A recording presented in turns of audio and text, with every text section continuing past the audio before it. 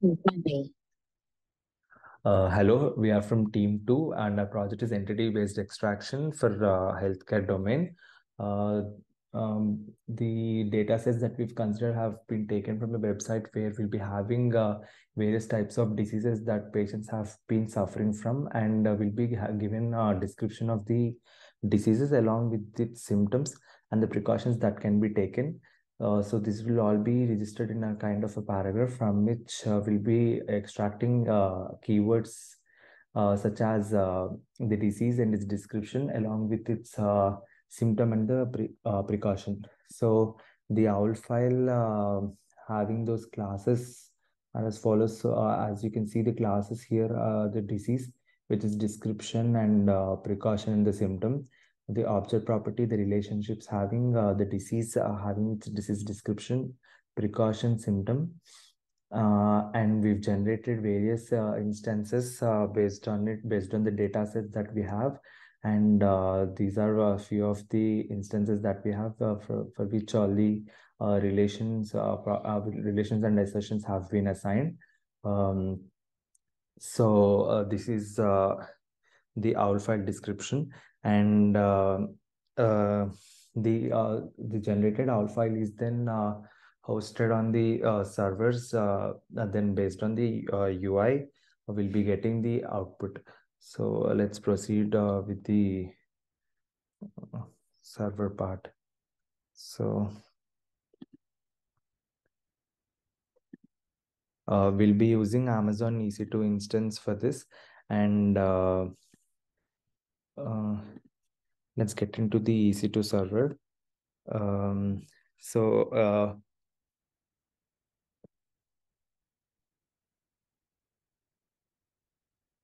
so we'll be hosting our Fuseki server on uh, Amazon EC2, uh, where a port is generated here from, uh, uh, as you can see, port is 3030 and uh, based on that uh, we'll be having a, uh, so this is a this is our server uh, which is active here.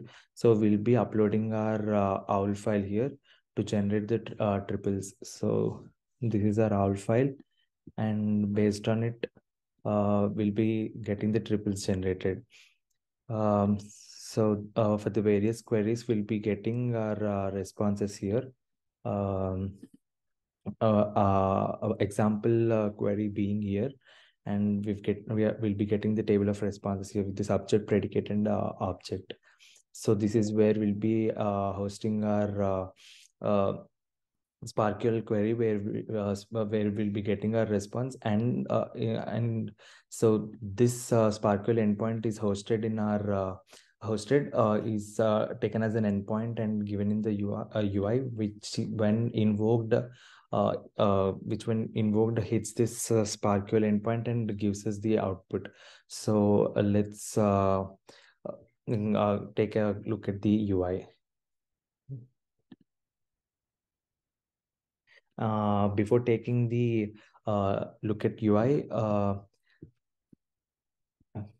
mm, before yeah before taking a look at the UI, uh, let's go through the, uh, so uh, I would like to give a glance about the contributions done by our uh, teammates. So uh, Basant have been uh, responsible for collection of the data sets and uh, as well as documenting them um, and uh, creation of the UI. So Himasri has been working on the ontology creation of uh, creating the OWL files with all the necessary classes, properties, and the instance creation of collecting the data sets and establishing the relationships and the assertions between them.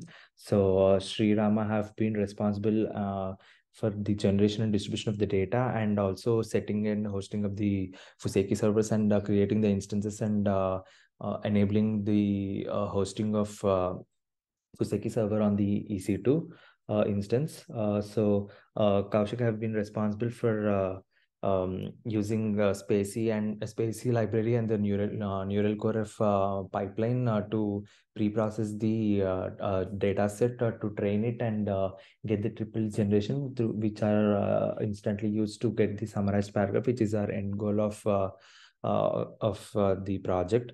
And Ganesh have been responsible for documenting all the results and uh, checking the data and uh, giving uh, generating SPARQL queries and uh, um, checking up the answers and uh, so this is a glance of the uh, contributions done by the team members. So let's uh, take a look at the UI. Mm.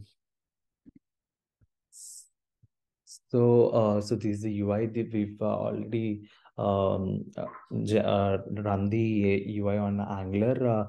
Uh, so where we'll be uh, we'll be creating a UI page in which we'll be we'll be giving the input input here and we'll be generating the summarized uh, summarized text. so uh, so as you can see, this is our simple UI. We have created this using Angular. So these um, in the in the Angular UI, we've uh, given the uh, SPARQL endpoint uh, hosted in the Fuseki server, which is in the uh, EC2 instance. We have given it here. So when the uh, Angular UI uh, is run, so the SPARQL endpoint is invoked there, and we'll be getting the necessary output here, which is the summarized paragraph, the end goal of a project. So this so the simple interface where we'll be giving our input so as you can see, the input is given uh, and we'll be getting a summarized paragraph of the, uh, um, as described in the ROR file with the, uh, uh the uh, particular disease with the, uh, with its symptoms and precautions. So, so this is the um, interface where we'll be using our web ontology and um, and UI. using this, we'll be getting our entity extraction and summarization of the data. Thank you.